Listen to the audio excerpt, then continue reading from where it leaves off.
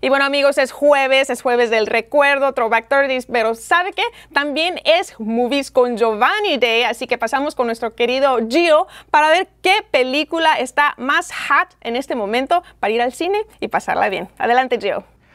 Hola Diana, hola a todos, ¿cómo están? Feliz jueves, ¿pueden creer que ya se acabó el año? ¡Ah, qué nervios! Ya vamos a celebrar este fin de año con una champaña, con una sidra, no sé, va a ser fiesta, ¿qué van a hacer? Este, yo pues me fui al cine como cada semana y esta semana les tengo dos películas de dos directores de mucho renombre. Uno es Steven Spielberg, que todos lo conocemos con películas como Jurassic Park y T, y a veces le gusta, claro que lo conocemos por los blockbusters, pero a veces le gusta hacer películas para ganarse Oscars como la lista de Schindler y en esta ocasión nos trae The Post, que la está aburrida.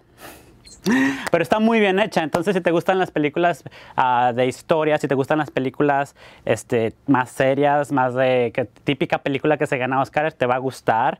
Este, trata de los papeles del Pentágono cuando se robaron la información y los papeles para denunciar al gobierno en la guerra de Vietnam de que habían mentido y que ya habíamos perdido la guerra, pero seguían nada más para cubrir que todo seguía bien. Todo un problemota, todo un problemota ahí con Richard Nixon. La verdad está muy bien hecha. Meryl Streep, Tom Hanks, Steven Spielberg. Entonces, si es tu tipo de películas, te va a gustar. Pero la verdad, si no te gustan las películas serias, ni la veas, porque es muy, muy seria.